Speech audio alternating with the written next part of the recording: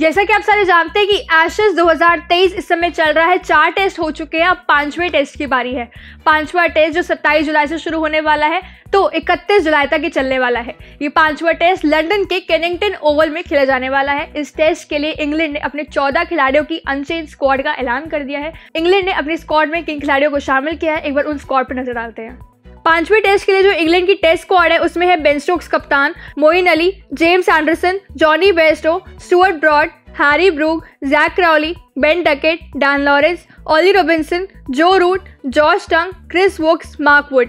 ये चौदह खिलाड़ियों की अनचेंज स्क्वाड इंग्लैंड ने ऐलान करी है पाँचवें टेस्ट के लिए, यानी जो स्क्वाड पहले थी, वही स्क्वाड लेकर इंग्लैंड टीम पाँचवें टेस्ट में उतरने वाली है। कोई भी बदलाव नहीं कर रही है। अब देखने वाला होगा कि कौन से इन चौदह खिलाड़ियों में से ग्यारह खिलाड़ी होते हैं जो हमें पाँचवें टेस्ट में नज़र आएँगे। एक बार अगर बात करें अभी तक के एशेस की तो टू वन का स्कोर इस एशेस में चल रहा है, यानी दो टेस्ट जीती है ऑस्ट्रेलिया तो एक जीती है इंग्लैंड।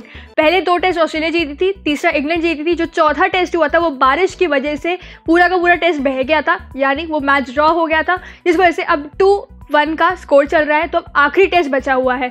बता दें, यहाँ पे जो बारिश हो गई, चौथे टेस्ट में मैच ड्रॉ हो गया, नुकसान हो गया यहाँ पे इंग्लैंड को, क्योंकि अब पांचवा टेस्ट इंग्लैंड जीते या हारे, इंग्लैंड अकेले इस एशेज 2023 की ट्रॉफी अपने घर नहीं ले जा सकती है।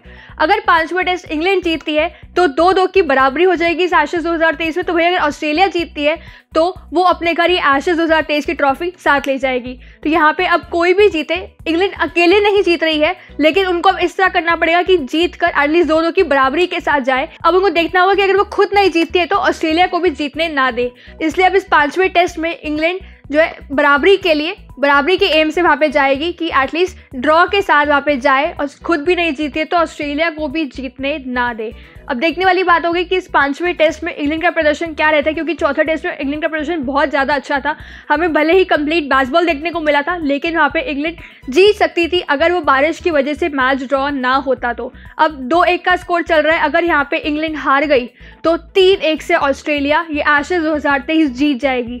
इसलिए यहाँ पे अब इंग्लैंड को देखना पड़ेगा क्योंकि इनका होम ग्राउंड पे ही मैचेस से दो एक से यहाँ पे अभी तक सीरीज़ चल रही है तो उनको दो दो की बराबरी करनी पड़ेगी ही पड़ेगी इंग्लैंड को। अगर उनको ये एशेज में ज़िंदा रहना है, अगर अपने नाम भी करना है तो अकेले नहीं जीत सकती, लेकिन ड्रॉ कर सकती है। अब देखने वाला होगा कि पांचवा टेस्ट कौन जीतता है तो उसके लिए प्ले इलेवन क्या होती है। अभी तक हर टेस्ट से पहले इंग्लैंड अपनी प्ले इलेवन का ऐलान एक या दो दिन पहले कर ही देती है।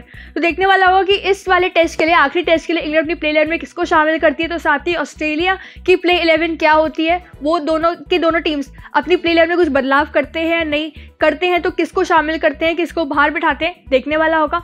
आप लोगों को क्या लगता है कि इस पाँचवें टेस्ट के लिए दोनों ही टीम की प्ले इलेवन क्या हो सकती है? तो साथ ही ये पांचवा टेस्ट कौन जीत सकता है? तो एशेज 2023 इसके नाम हो सकता है। आप लोगों को क्या लगता है? मुझे फटफट से कॉमेंट ज़रूर बताइए। आधे तूफ़ान स्पोर्ट इस वीडियो को लाइक कमेंट और सब्सक्राइब करना बिल्कुल भी भूलेगा